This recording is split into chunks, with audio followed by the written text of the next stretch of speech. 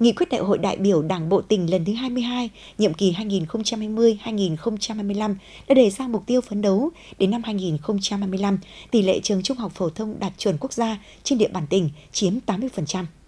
Với sự quan tâm của tỉnh ủy, Hội đồng Nhân dân, Ủy ban Nhân dân tỉnh, Sở Giáo dục và Đào tạo, cùng với sự quyết tâm cao của các nhà trường, sau hơn một năm triển khai thực hiện nghị quyết, Ninh Bình có thêm 4 trường trung học phổ thông đạt chuẩn quốc gia, chiếm tỷ lệ 72%. Trường Trung học phổ thông Nho Quan A mới được công nhận đạt chuẩn quốc gia vào tháng 12 năm 2021. Nhiều hạng mục được xây mới sửa chữa, tạo nên diện mạo mới cho ngôi trường có bề dày truyền thống. Đáng chú ý là khu nhà đa năng với đầy đủ các trang thiết bị theo quy định, tạo điều kiện thuận lợi cho đội ngũ giáo viên, học sinh tham gia học tập và các hoạt động ngoài giờ đảm bảo chất lượng hiệu quả. Khi nhà trường đạt chuẩn quốc gia thì ờ, điều kiện học tập ngày càng tốt ạ và nhà trường đã tạo điều kiện cho chúng em có thể phát huy hết cái khả năng của mình và sở trường của mình để học tập có hiệu quả hơn ạ.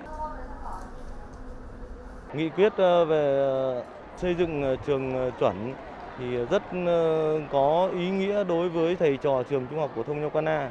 Thầy và trò rất là phấn khởi. Nhà trường có cái môi trường dạy và học nó đầy đủ hơn, tiện nghi hơn để à, phát huy được cái trường chuẩn quốc gia thì nhà trường thì luôn quan tâm đến ờ, ờ, đội ngũ giáo viên, quan tâm đến ờ, nề nếp dạy và học, rồi quan tâm đến việc bồi dưỡng học sinh giỏi, học sinh mũi nhọn.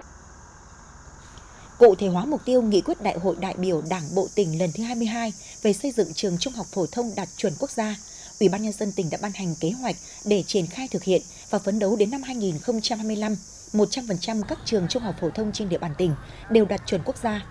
Theo đó, đối với những trường đã đạt, cần tiếp tục duy trì và nâng cao chất lượng trường chuẩn.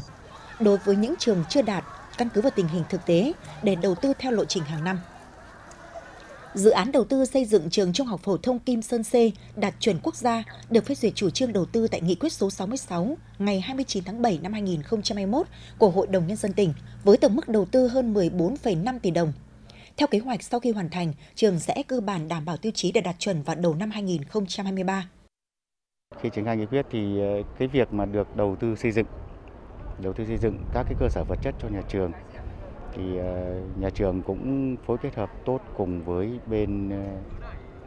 đầu tư xây dựng của tỉnh và thực hiện cái công tác là giám sát trong cái công tác xây dựng để đảm bảo cái chất lượng công trình khi đưa vào sử dụng và như vậy sẽ thuận tiện nhất cho cái công tác dạy và học của trong nhà trường. Cùng với được đầu tư về cơ sở vật chất, các nhà trường còn chú trọng tới việc nâng cao chất lượng đội ngũ nhà giáo. Đây là hai yếu tố quan trọng để xây dựng trường học đạt chuẩn quốc gia vững bền thực chất. Bản thân tôi thì là một giáo viên cũng đã à, hoàn thành cái chương trình thạc sĩ à, toán học, à, cũng cố gắng à, tham gia tất cả các cái à, hoạt động, các cái phong trào của nhà trường làm sao để tốt nhất như là công tác à, giảng dạy, công tác bồi dưỡng à, học sinh tham gia đội à, tuyển học sinh giỏi, à, rồi các phong trào khác của nhà trường để xây dựng trường sẽ ngày càng à, vững mạnh. Kết quả từ thực tiễn cho thấy, mục tiêu nghị quyết Đại hội đại biểu Đảng bộ tỉnh lần thứ 22 về xây dựng trường trung học phổ thông đạt chuẩn quốc gia đang và sẽ đạt được trong thời gian tới. Qua đó mang lại môi trường học tập tốt nhất cho những chủ nhân tương lai của đất nước.